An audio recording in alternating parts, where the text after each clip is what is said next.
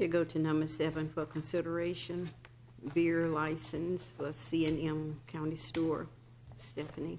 Yes, ma'am. This is um, for C&M um, Country Store located at 2295 New Statenville Highway, and it's for a beer license for consumption off premises, and it's due to a change of ownership. Any questions?